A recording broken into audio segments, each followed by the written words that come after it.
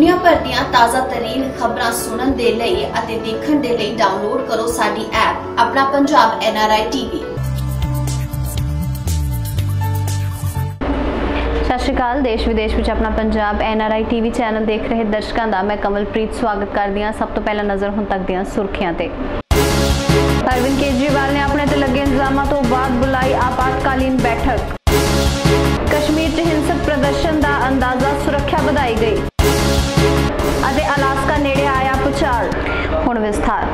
ਦੇ ਮੁੱਖ ਮੰਤਰੀ ਅਰਵਿੰਦ ਕੇਜਰੀਵਾਲ ਨੇ ਆਪਣੇ ਤੇ ਲੱਗੇ ਇਲਜ਼ਾਮਾਂ ਤੋਂ ਬਾਅਦ ਵਿਸ਼ੇਸ਼ ਸਦਨ ਬੁਲਾਇਆ ਮੁੱਖ ਮੰਤਰੀ ਅਰਵਿੰਦ ਕੇਜਰੀਵਾਲ ਵਿਧਾਨ ਸਭਾ ਵਿੱਚ ਵੱਡੀ ਸਾਜ਼ਿਸ਼ ਦਾ ਭੇਦ ਖੋਲਣਗੇ। ਕੇਜਰੀਵਾਲ ਨੇ ਟਵੀਟ ਕਰਕੇ ਇਹ ਜਾਣਕਾਰੀ ਦਿੱਤੀ ਕਿ ਦੇਸ਼ ਵਿੱਚ ਵੱਡੀ ਸਾਜ਼ਿਸ਼ ਚੱਲ ਰਹੀ ਹੈ। ਉਸ ਸਾਜ਼ਿਸ਼ ਦਾ ਸੱਚ ਸੌਰਵ ਭਾਰਤਵਾਜ ਦਿੱਲੀ ਵਿਧਾਨ ਸਭਾ ਜ਼ਰੀਏ ਦੇਸ਼ ਦੇ ਸਾਹਮਣੇ ਰੱਖਣਗੇ।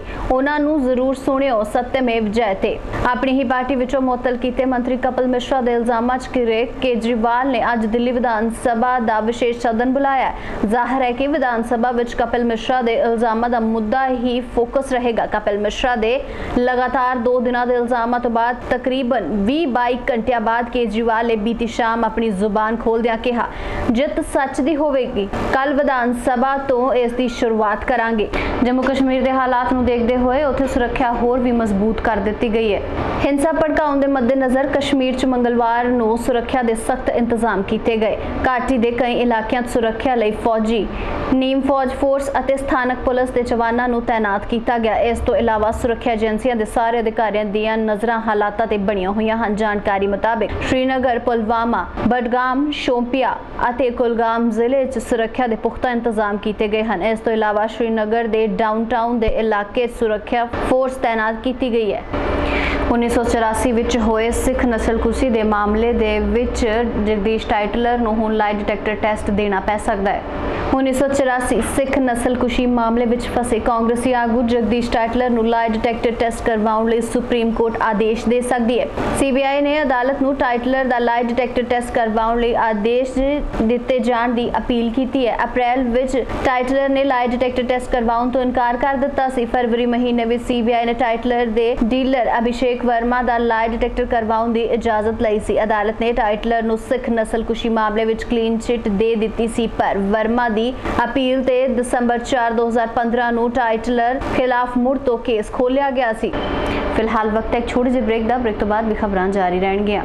ਦੁਨੀਆ ਭਰ ਦੀਆਂ ਤਾਜ਼ਾ ਤਰੀਨ ਖਬਰਾਂ ਸੁਣਨ ਦੇ ਲਈ ਅਤੇ ਦੇਖਣ ਦੇ ਲਈ ਡਾਊਨਲੋਡ ਕਰੋ ਸਾਡੀ ਐਪ ਆਪਣਾ ਪੰਜਾਬ ਐਨਆਰਆਈ ਟੀਵੀ ਆਪਣਾ ਪੰਜਾਬ ਗਰੁੱਪ ਤੁਹਾਡੀ ਸੇਵਾ ਦੇ ਵਿੱਚ ਲੈ ਕੇ ਆਏ ਨੇ। Canam phone. ਮੈਂ ਕਿਹਾ ਕਿੱਥੇ ਐ? ਮੈਂ ਤਾਂ ਕੈਨਮ ਦੇ ਗਈ ਸੀ। ਉਹ ਕੈਨਮ ਕੀ? Canam phone. Pinless phone service ਸਾਫ਼ ਸੁਥਰੀ ਆਵਾਜ਼ ਕੋਈ ਵਾਧੂ ਚਾਰਜ ਨਹੀਂ। ਕੈਨੇਡਾ ਤੇ ਅਮਰੀਕਾ ਤੋਂ ਇੱਕੋ ਹੀ ਰੇਟ ਇੰਡੀਆ ਸੈਲ ਤੇ ਲੈਂਡਲਾਈਨ ਇੱਕੋ ਹੀ ਰੇਟ ਤੇ ਨਾਲੇ 1500 ਮਿੰਟ ਫ੍ਰੀ ਜਿੰਨੀ ਗੱਲ ਕਰੀਏ ਉਨੇ ਹੀ ਪੈਸੇ ਕੱਟਣਗੇ। ਜੀ ਹਾਂ। ਭਰੋਸੇਯੋਗ ਸਰਵਿਸ ਅੱਜ ਹੀ ਕਾਲ ਕਰੋ 7185761201 ਅਤੇ 7185761840 ਤੇ। ਬ੍ਰੇਕ ਤੋਂ ਬਾਅਦ ਤੁਹਾਡਾ ਮੁੜ ਸਵਾਗਤ ਹੈ। ਪੰਜਾਬ ਦੇ ਮੁੱਖ ਮੰਤਰੀ ਕੈਪਟਨ ਅਮਰਿੰਦਰ ਸਿੰਘ ਨੇ ਸ੍ਰੀ ਹਰਮੰਦਰ ਸਾਹਿਬ ਵਿਖੇ ਖਾਲਸਾ ਕਾਲਜ ਦੇ ਵਿਦਿਆਰਥੀਆਂ ਨਾਲ ਮੁਲਾਕਾਤ ਕੀਤੀ। ਪੰਜਾਬ ਦੇ ਮੁੱਖ ਮੰਤਰੀ ਕੈਪਟਨ ਅਮਰਿੰਦਰ ਸਿੰਘ ਨੇ ਐਤਵਾਰ ਨੂੰ ਖਾਲਸਾ ਕਾਲਜ ਦੇ ਅੰਦੋਲਨ ਕਰ ਰਹੇ ਵਿਦਿਆਰਥੀਆਂ ਨੂੰ ਮਿਲੇ, ਜੋ ਕਿ ਹਾਲ ਹੀ ਵਿੱਚ ਹਰਪ੍ਰੀਤ ਸਿੰਘ ਨਾਂ ਦੇ ਵਿਦਿਆਰਥੀ ਵੱਲੋਂ ਕੀਤੀ ਗਈ ਖੁਦਕੁਸ਼ੀ ਦੇ ਮਾਮਲੇ ਤੇ ਕਾਲਜ ਦੇ ਪ੍ਰਬੰਧਕ ਵਿਰੋਧ ਅੰਦੋਲਨ ਕਰ ਰਹੇ ਸਨ। ਹਰਪ੍ਰੀਤ ਸਿੰਘ ਨੇ ਕਾਲਜ ਹੀ ਆਪਣੇ ਹੋਸਟਲ ਦੇ ਕਮਰੇ 'ਚ ਆਤਮ ਹੱਤਿਆ ਕਰ ਲਈ ਸੀ। ਮੁੱਖ ਮੰਤਰੀ ਨੇ ਵਿਦਿਆਰਥੀਆਂ ਨੂੰ ਨਿਆਂ ਦਾ ਭਰੋਸਾ ਦਿਵਾਇਆ ਅਤੇ ਉੱਚ ਸਿੱਖਿਆ ਦੇ ਪ੍ਰਮੁੱਖ ਸਕੱਤਰ ਅਨੁਰਾਗ ਵਰਮਾ ਨੂੰ ਵਿਦਿਆਰਥੀਆਂ ਦੀਆਂ ਸ਼ਿਕਾਇਤਾਂ ਦਾ ਨਿਰਵਾਣ ਕਰਨ ਅਤੇ ਵਿਦਿਆਰਥੀਆਂ ਵੱਲੋਂ ਕੀਤੀ ਗਈ ਖੁਦਕੁਸ਼ੀ ਵਿੱਚ ਕਾਲਜ ਪ੍ਰਬੰਧਕਾਂ ਦੀ ਭੂਮਿਕਾ ਦਾ ਪਤਾ ਲਾਉਣ ਬਾਰੇ ਜਾਂਚ ਕਰਨ ਲਈ ਆਖਿਆ। ਅਲਾਸਕਾ ਦੇ ਨੇੜੇ ਆਂਦਰੇਨਫ ਦਵੀਪ ਦੇ ਵਿੱਚ ਭੂਚਾਲ ਆਇਆ ਤੇ ਇਹ ਭੂਚਾਲ 6.4 ਦਸ਼ਮਲਵ ਰਿਕਾਰਡ ਕੀਤਾ ਗਿਆ। ਅਲਾਸਕਾ ਨੇੜੇ ਆਂਦਰੇਨਫ ਦਵੀਪ ਤੇ ਅੱਜ 6.4 ਤੀਬਰਤਾ ਦਾ ਸ਼ਕਤੀਸ਼ਾਲੀ ਭੂਚਾਲ ਆਇਆ, ਪਰ ਸੁਨਾਮੀ ਦਾ ਤੁਰੰਤ ਖਤਰਾ ਨਹੀਂ ਹੈ। ਇਸ ਭੂਚਾਲ ਤੋਂ ਕਿਸੇ ਤਰ੍ਹਾਂ ਦਾ ਕੋਈ ਨੁਕਸਾਨ ਨਹੀਂ ਹੋਇਆ।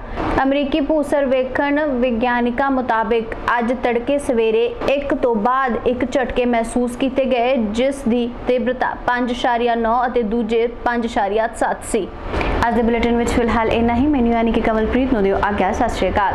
ਆਪਣਾ ਪੰਜਾਬ ਨਿਊਜ਼ਪੇਪਰ ਦੇ ਵਿੱਚ ਅਤੇ ਆਪਣਾ ਪੰਜਾਬ ਐਨਆਰਆਈ ਟੀਵੀ ਤੇ ਐਡ ਦੇਣ ਲਈ ਸਾਨੂੰ ਸੰਪਰਕ ਕਰੋ। ਸਾਡਾ ਅਮਰੀਕਾ ਦਾ ਫੋਨ ਨੰਬਰ ਹੈ 6318358000 ਤੇ ਸਾਡਾ ਇੰਡੀਆ ਦਾ ਫੋਨ ਨੰਬਰ ਹੈ 9815540000 ਤੇ।